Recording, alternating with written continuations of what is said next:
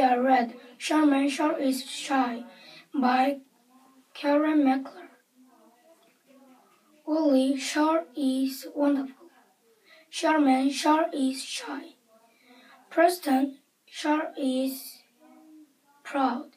Sherman Shaw is shy. Fred Shaw is fancy. Greg Shaw is grand.